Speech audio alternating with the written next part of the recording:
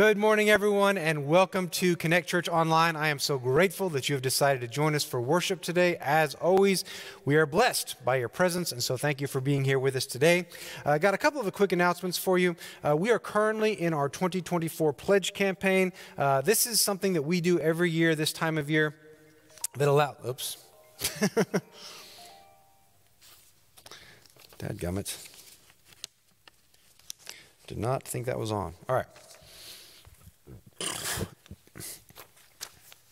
Good morning, everyone, and welcome to Connect Church Online. I am so grateful that you have decided to join us for worship today. As always, our community is blessed by your presence, and so thank you for being here with us today. I uh, got a couple of quick announcements for you. Our 2024 pledge cards are currently in the works. What is, okay, here we go. Good morning, my voice cracked.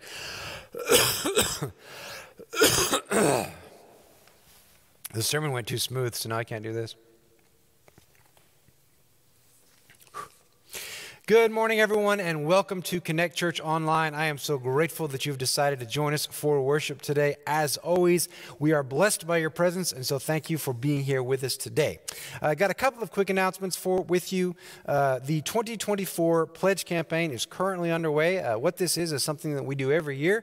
Uh, allows us to do our budgeting for 2024, and so our leadership team is meeting over the next couple of weeks uh, to plan all of our missions and ministries, and a part of that is to put together together the budget for 2024. The way that we do that is uh, by getting information from you about your giving plans for next year. So if you're a member here at Connect Church, you may have received those in the mail. If you're not a member, uh, you can always go to the website and fill those in uh, there on the website. But if you have giving plans for 2024, we would love to hear from you uh, so that we are able to make all of our plans for the upcoming year. Uh, also, on November the 28th, it is our annual charge conference. This is the annual meeting that we have every year here as a church uh, to talk about where we've been and where we're going. so on November 28th at 6.30. You are certainly welcome to join us for that. Uh, December 10th, we have a really cool event coming up. This is our Children's Worship and Cookies with Santa Day. Uh, the kids are going to help lead worship that day, do a song or two. It's always a lot of fun. Uh, the kids are currently practicing for that during Kids Church. So if you have a youngster who you would like to participate in the Christmas program, we encourage you to bring them in the coming weeks so that they are ready to go on December the 10th. Uh, also on December 10th, after worship, uh, Santa's going to stop by. We do uh, cookies and and hangout time. So we'd love to have you join us uh, for that. It's always a lot of fun. Our Girlfriends Connect group uh, on December the 16th is going to have their annual Christmas ornament exchange. Uh, they do that here at the church. You bring a Christmas Christmas ornament. They exchange it with each other, uh, and they have a fun time uh, eating and hanging out. So we hope you will do that with us uh, this year as well. And then our youth, which is 6th through 12th grade, is getting ready for our Winter Spark. That is not till January, but January 12th to the 15th at the weekend spiritual retreat uh, for our teenagers. And so if you have a teenager that you would like to participate in that, uh, we would love to have you sign them up and bring them on that weekend. Other than that, I'm just glad that you are here with us today, and I would like to encourage you now to join me in saying the things that unite us here at Connect Church. Every uh, week here at Connect, we come together and we say these things, and the things that we say allow us to be reminded that we are united in what we believe and the mission that we are on, even when we can't be together physically. So, here we go. Here at Connect Church, our mission is to connect to God and connect to others. And our vision is to share the transforming power of Christ by creating a community set on making a difference in the world by living out Christ's three greats, the great commandment to love the Lord your God with all your heart, with all your soul, with all your mind, and with all your strength. The commandment of great compassion. Truly I tell you, whatever you did for one of the least of these brothers and sisters of mine, you did for me. And the Great Commission Go and make disciples of all nations, baptizing them in the name of the Father, and the Son, and the Holy Spirit, teaching them to obey everything I have commanded you. And while these are the things that unite us here at Connect Church, we are also united with Christians around the world. And so each week we join their voices in saying the Apostles' Creed together. I believe in God, the Father Almighty, maker of heaven and earth, and in Jesus Christ, his only Son, our Lord, who is conceived conceived by the Holy Spirit, born of the Virgin Mary, suffered under Pontius Pilate, was crucified, dead, and buried. The third day he rose from the dead, he ascended into heaven, and is seated at the right hand of God the Father Almighty. From thence he shall come to judge the quick and the dead. I believe in the Holy Spirit, the holy Catholic Church, the communion of saints, the forgiveness of sins, the resurrection of the body, and the life everlasting. Amen. And now, if you will pray with me. Lord God, we thank you so much for who you are. We ask that you send your spirit into this place, that you would inspire us and transform us, allow us to worship you, encounter you, and be blessed by you. In your holy name we pray. Amen.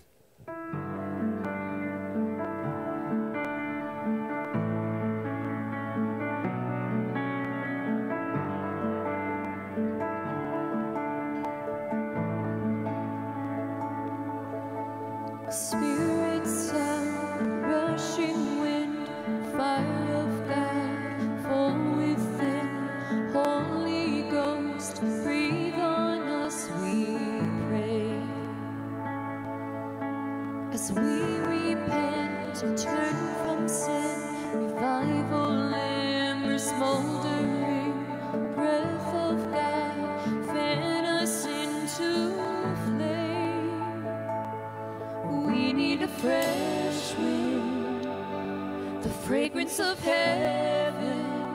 Pour your spirit out.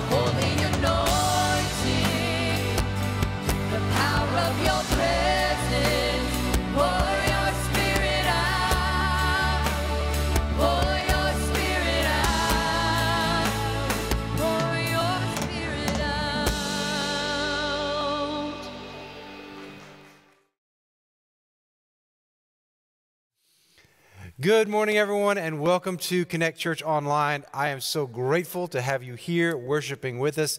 Uh, once again, if you haven't already and you're worshiping with us live, uh, be sure to say hello on our online platform. We love to hear from you. If you're worshiping with us on Facebook or YouTube or somewhere else uh, after the fact, be sure to share those videos. Uh, it's always a great testimony to share uh, the message of Christ that we all receive together uh, as we participate in worship. So today, we are going to be continuing on our sermon series called Strapped that we have been working through over the past couple of weeks. And I think that God does not want us to walk through life always feeling like we don't have enough. My theory, my belief uh, that I think is right, is that is that God wants us to walk through life feeling and knowing that we've been blessed and that we've been blessed abundantly. Now, it's important that we understand what that means. Being blessed abundantly doesn't mean that we have everything uh, that we could ever possibly imagine. Being blessed abundantly means that we have an attitude of always knowing that there's more where that came from that I'm not constantly worried about not having enough for me, that I'm not constantly in this mindset of scarcity, but I have instead spiritually and, and mentally transitioned to a place of abundance so that I know that God has provided for me and will continue to provide for me. It's a whole nother mindset and it brings joy and, and excitement into our lives. And, and I think it's the way that God wants us to live. And so we are talking about that this attitude of feeling uh, like we are living in a mindset of abundance. Uh, we are also in the midst of our 2024 pledge campaign. It's something that we do every year here at Connect. Uh, most churches do it. And what you do is you fill out your giving plans for 2024. Our church, our ministries are all uh, established and focused. Uh, the, the, way that they're all funded uh, is through the contributions that members of our church family give. And so our church leadership meets this time of year every year. Uh, we plan for the missions and ministries in the coming year, so 2024. And a part of that is to set our church budget. And the way that we do that uh, is the information that you give us about your giving plans for the upcoming year.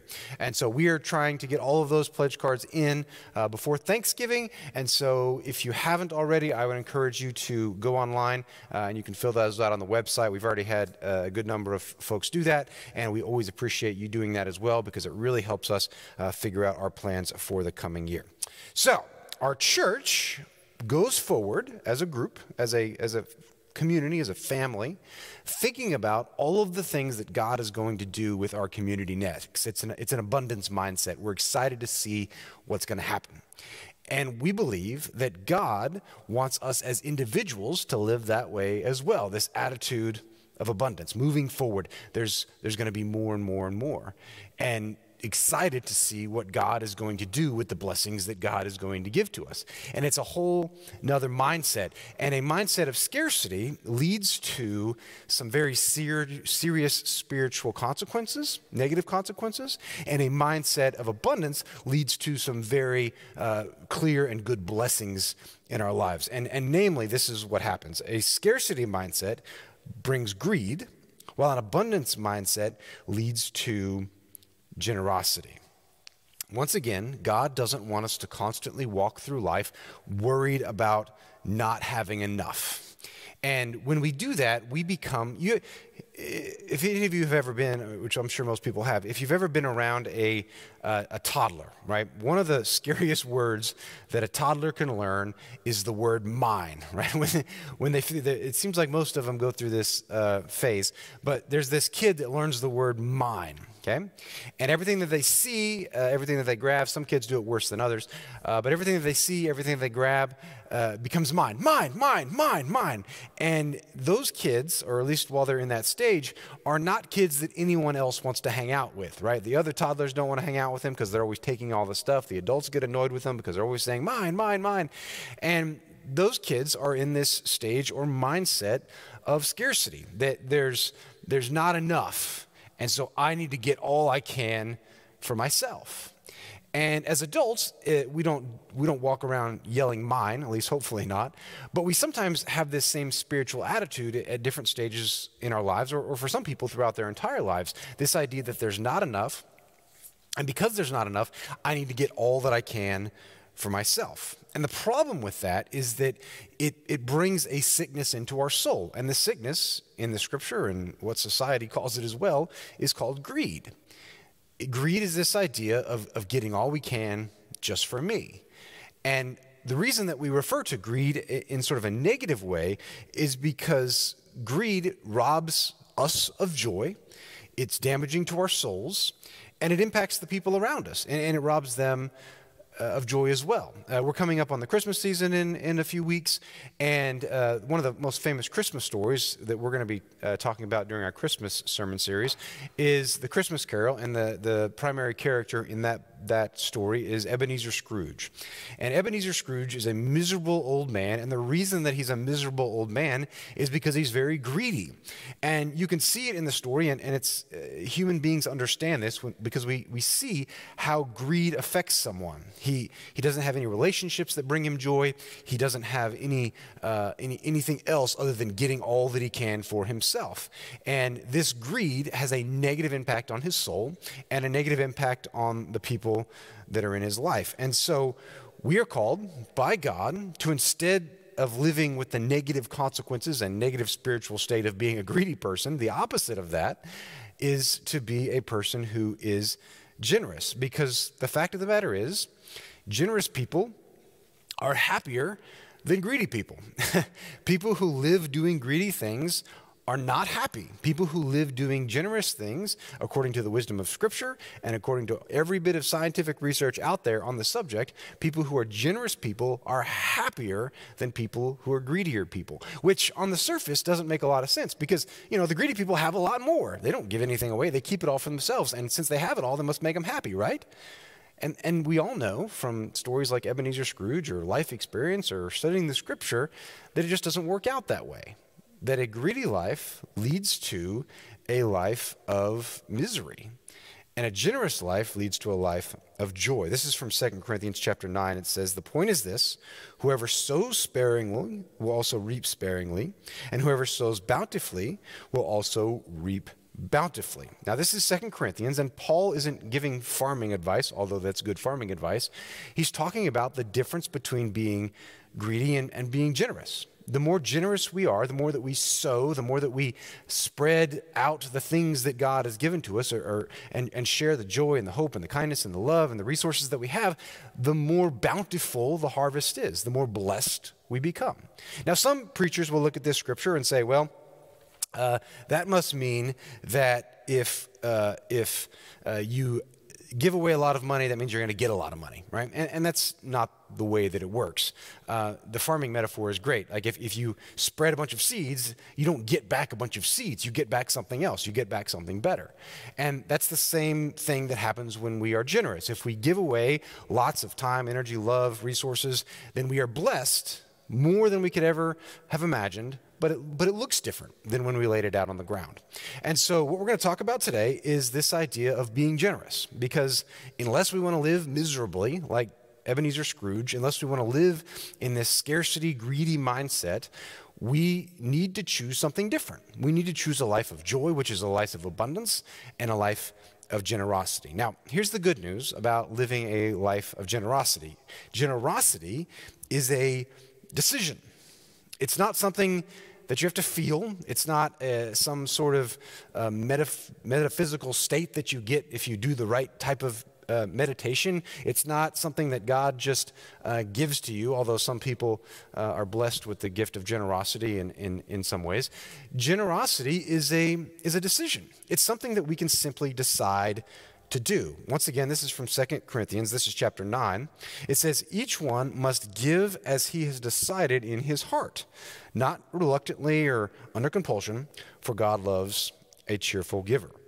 And the important word that I want to point out there today is the word decide, is that we all can decide to be a cheerful giver. The uh, Greek word that is translated as decide there is the word proerio, which is a hard word to say for me, but the but it's it's where we get the word um, it's where we get the word propose in English. It, it's it's more literally probably translated as propose, and so what uh, what Paul's talking about is why don't you propose to yourself that you be a generous person. You can make this proposal. And, and since you're a committee of one, when you, when you propose to yourself, you know what, I, I think I might try to be a generous person, there's nobody around to object. That's, that's you, that's your decision. That is something that you can do. And so I'm going to propose to you that you consider proposing to yourself that you become a person of generosity. Not because God needs your money, not because God needs your time, not because everyone around you is going to starve if you're not generous. The reason that, that I think God asks us to be a general per, generous people is because God doesn't want us to be miserable. And if we are greedy, we are miserable. and it, it, the Scrooge story, I love it. At the beginning, Scrooge is, is uh, grumpy and greedy, and at the end, he's generous and happy. And you just see, you see how those two things are tied together. And it's the way that the human condition works. And so, you and me get to make that decision. We can decide to be a people who are generous and decide to be a people who experience God's joy. So, let's talk a little bit about those decisions. How do we choose to be a people who are generous? We can start with this one. We can choose to be generous with our joy. Uh, many times, other people succeed, and we get to make a decision about how we react to that. When a neighbor or a friend or a family member receives a promotion, we can choose to smile with them and celebrate with them and jump up and down with them if, if that's the way that you do your celebrating. You can choose to be genuinely happy for that person. And, and when someone has a victory in their life, whether it's a promotion or something else, you can choose to share in that joy. And when and you were genuinely happy for that other person, not only do you get to share in the joy that comes from their success, you get to multiply that joy because they get to feed off the joy that you uh, exude when you hear about their victory or their good thing or their blessing that God has given to them.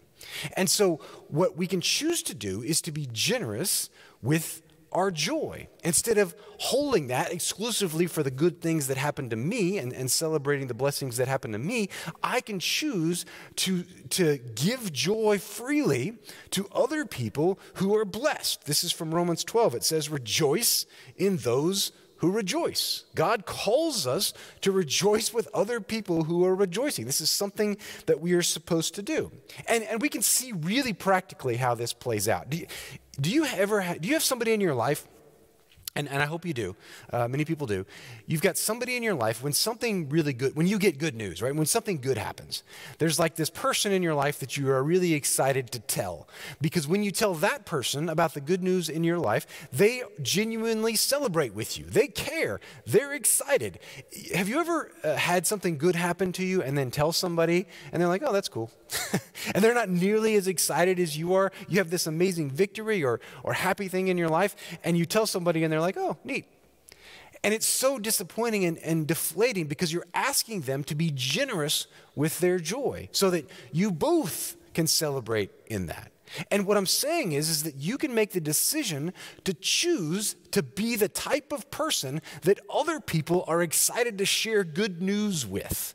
You can be the type of person that other people are excited to tell because they know that you genuinely get joy from their success. Instead of choosing uh, resentment or jealousy when other people succeed or get a promotion or whatever victory they have in their lives, and, and, and that happens, right? You know people who uh, have a hard time celebrating good things for other people because they choose resentment or envy. But you don't have to choose to be that. You can choose instead to be a person who is genuinely excited and shares in the joy of other people. You can choose to be that kind of person, a person who is who's generous with their joy. And when you choose to be generous with your joy, you are celebrating and and and you get to have the blessing that comes with generosity. So, one of the ways that we can choose to be a people who are generous is to choose to be generous with our joy. Uh, kind of on the inverse, we can also choose to be generous with our compassion. Uh, just as we should allow our hearts to feel joy when others are celebrating, we should also allow our hearts to break with others. Uh, the Old Testament uh, has some great wisdom, and this is from uh, Deuteronomy and a very ancient book, and, and God told his people this If among you one of your brothers should become poor, In any of your towns within your land that the Lord your God is giving you, you shall not harden your hearts or shut your hand against your poor brother, but you shall open your hand to him and lend him sufficient for his need, whatever it may be. When we see others who are suffering, it can be very unpleasant to empathize with them. When we see other people who have a broken heart, it can be very unpleasant to look at them and have compassion in a way that allows our heart to break too. It can be very unpleasant to hurt with other people who are hurting, which is why it's tempting when we see other people who are going through a hard time in life to, to turn a blind eye, to say, that's not my problem, to close off our hearts and to say, that's too bad for them, but it doesn't affect me. Just as other people in the world need you to be generous with their joy and celebrating the good times, other people in the world also need you to be generous with your heartbreak, with your compassion. When other people suffer, to choose not to turn away, to choose to look at it and to suffer with them, to allow your heart to break. And, and whenever we allow our hearts to break, when someone is hurting and I allow myself to hurt with them, then it allows me uh, to cry with them, which can bring healing in a certain way. It allows me to pray with them, which brings healing in a certain way. It allows me to, to walk with them or, or talk with them. When I allow my heart to break, when I'm generous with my heartbreak, it, it creates a, a world in which compassion is compounded and empathy is compounded and, and that brings that brings good things not only to them but to you and also just the world. The world has plenty of people that turn a blind eye to suffering. And god asks his people you and and me to not be one of them. God asks you and me to be one of the people who chooses to allow our hearts to break when we see suffering and, and hear of it now this is an art, not a science, uh, because there is a lot of suffering in the world. And I do think that God loves us and wants us to be happy. And so I'm not saying that you need to destroy your life and, and go into a deep depression and sadness as you empathize with every bit of hardship around the world. That's, that's not what I'm talking about. But, but we are called to be generous with our heartbreak, to allow ourselves to be affected by the hardships and the suffering of others. And we are called by God to uh, to allow that heartbreak that, that we invite in to spur us to action. We should be doing things as Christians uh, to help feed those who are hungry. All of us should be doing that. We should be doing things as Christians to help uh, children who, who don't have other people who care for them. We should be doing things uh, to make sure that, that sick people get medicine and, and that people have access to clean water and, and, and shelter. And that should affect us and it should spur us on to action. Now, once again, art not a science because um, we're not called to just be in misery all the time, but we are called to allow our hearts to break so that we can be spurred on to appropriate action. Which, which brings me to the next way that we are called to be generous is that we can choose to be generous with our resources. This is from 1 John chapter 3. It says, But if anyone who has the world's goods and sees his brothers in need, yet closes his heart against him, how does God love abide in him? We are called throughout Scripture. We read it in Deuteronomy in the Old Testament. We just read it here in 1 John in the New Testament. We are called throughout Scripture. Uh, it's inarguable that we are called to use the resources that God has given to us to help other people. We are called to use the money that God has given us to feed the hungry. We are called to use the time that we have to serve those who are less fortunate. We are called by God to use the things that we have and be generous with them. Now, once again, this is complicated because I, this, is, this is one of the things that I get questions every year. Uh, we, we, preach about generosity this time of year, uh, almost every year. And almost every year, I, I get some form of question about how, how, how do I know how generous I'm supposed to be? Because, because there's a lot of need in the world. And, and I could give away everything that I have and there would still be a lot of need in the world? Does God want me to just give away every penny and every cent and live with uh, as little as possible, like buy food and shelter and then give everything else away? Is that what God is calling me to do? And the answer, once again, is an art, not a science. But, but God, does us, God does give us some good clarity about how we are called to use our resources uh, to serve others and serve those in need. And so uh, I'm going to walk through that with you because I get this question so often about how do I know how much I'm supposed to give away. So here we go. Uh, the first thing that God gives us is the rule of the tithe. Okay. Now the tithe is God's like bare minimum. He says this: at least 10 percent of what you have, you should use your, your income, right? At least 10% of your income, in whatever form that takes, 10% of your income should be used and, and given away. Okay?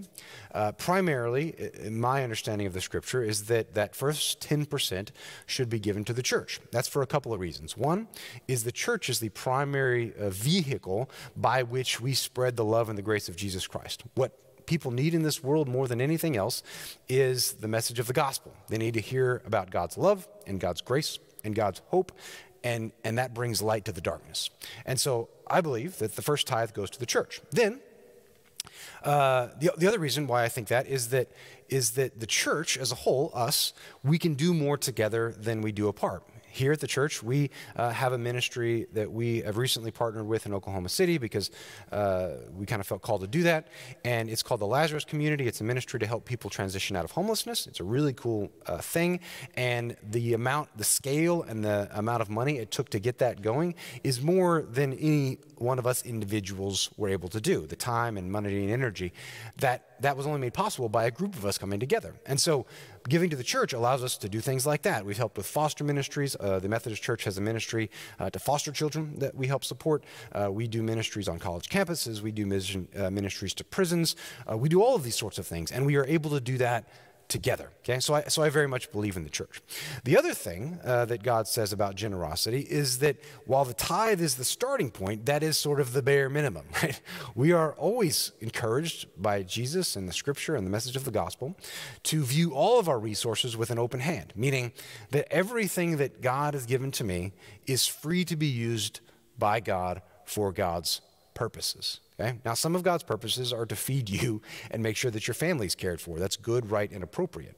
But everything that we have uh, that is given to us by God. And because everything is given to us by God, God is free to use anything for his purposes, including helping those who are in need. There are a lot of people in this world who are hungry, and those hungry people are God's children. And God calls us to have an open handed mentality to the things that He has blessed us with to be used to do all of the ministries, including feeding people. So, how do we figure out who to feed and who to not? And and this is uh, a really helpful scripture for me. This is in Galatians that helps us understand this. It says this Carry each other's burdens, and in this way you will fulfill the law of Christ.